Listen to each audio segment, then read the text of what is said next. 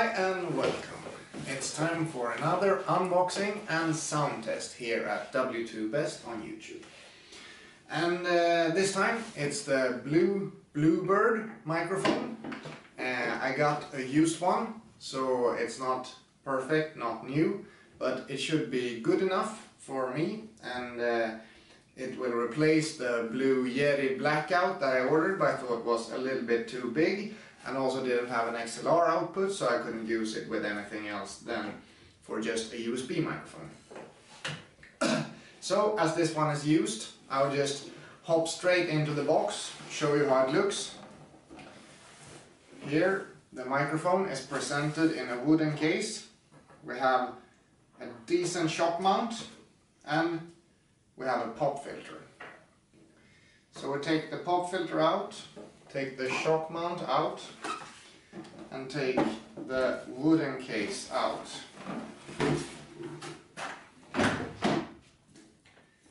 And when you slide this off, you reveal the microphone.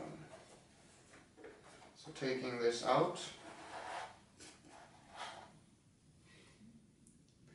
this feels high quality, I can tell you. This is really good. So uh, I'm not gonna waste any further time with this.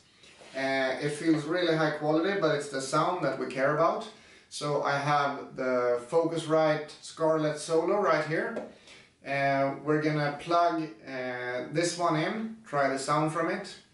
Uh, we're gonna plug a cheap, uh, just a cheap dynamic cardioid microphone, also with the XLR.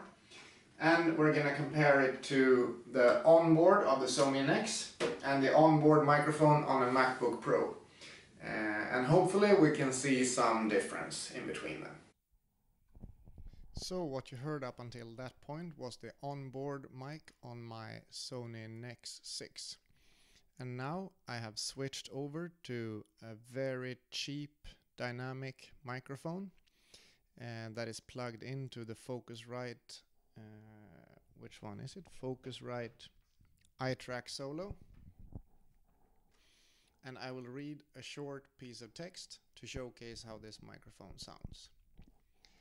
In a departure from its normally application-specific designs, Blue engineered the Bluebird to be as versatile as possible.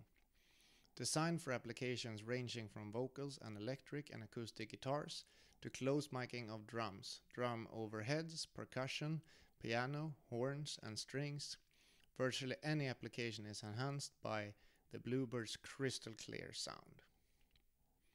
So this was a cheap condenser, uh, sorry, dynamic microphone, just regular settings in Audacity, medium gain on the Focusrite iTrack Solo.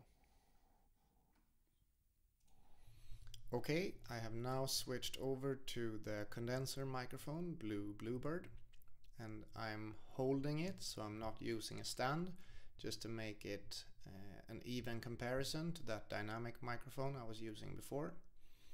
I'm holding it in equal distance to what I used uh, the last mic on and with the same gain setting. And I'm gonna read the same text so you can hear the difference. In a departure from its normally application-specific designs, Blue engineered the Bluebird to be as versatile as possible. Designed for applications ranging from vocals and electric and acoustic guitars to close miking of drums, drums overheads, percussion, piano, horns and strings. Virtually any application is enhanced by the Bluebird's crystal clear sound. So that was the Blue Bluebird and it's powered with phantom power from the Focusrite uh, USB interface. Now we're gonna switch over to the onboard mic of the MacBook Pro. And for the third part of this comparison, I am now using the onboard mic of my MacBook Pro. I'm still using the same settings in Audacity and I will do no editing to the sound afterwards. So I'm going to read the same text as before.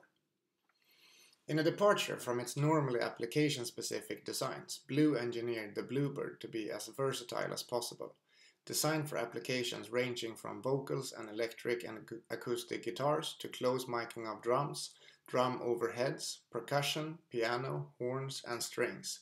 Virtually any application is enhanced by the Bluebird's crystal clear sound. So that was the last one of the tests and uh, just let me know what you thought in the comments below and let's have some discussions uh, around the impressions there. Thanks a lot. Bye.